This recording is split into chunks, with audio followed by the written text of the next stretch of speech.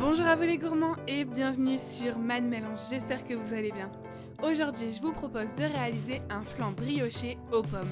Et tout de suite sans plus attendre place à la vidéo, c'est parti Alors pour cette recette, on aura besoin de tous ces ingrédients et le détail est en bas dans la barre de description.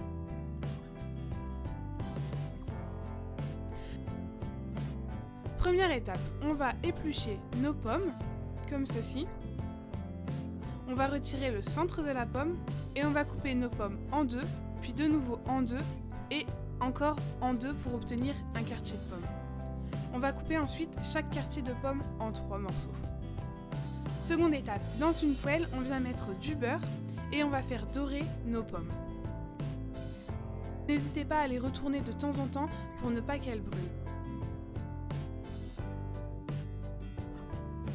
On va alors faire dorer nos pommes jusqu'à ce qu'elles soient fondantes et bien dorées.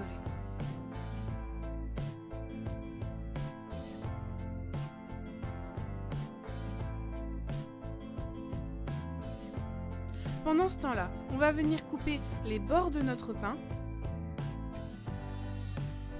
Puis on va le couper en 3 sur 3. Seconde étape, dans un bol, je viens mettre mes œufs entiers et mon sucre.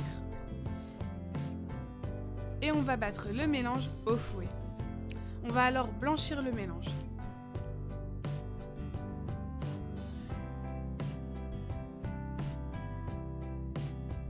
J'aime beaucoup ce gâteau parce qu'il est vraiment très facile à réaliser et on peut mettre vraiment tous les fruits que l'on souhaite.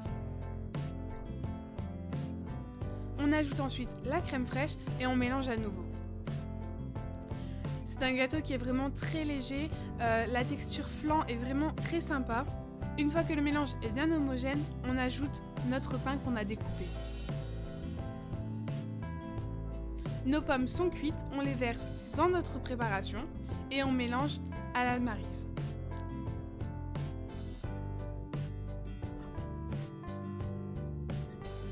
Dernière étape, dans un moule beurré et fariné ou bien tout simplement avec du papier sulfurisé, on dépose notre préparation.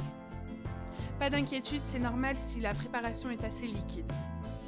On va ensuite enfourner dans un four préchauffé à 180 degrés pendant une heure. Je vous conseille cependant, au bout de 50 à 55 minutes, de surveiller régulièrement votre gâteau. Et voilà, cette recette est maintenant terminée. J'espère qu'elle vous aura plu. Je vous fais de gros bisous et je vous dis à la prochaine fois. Ciao ciao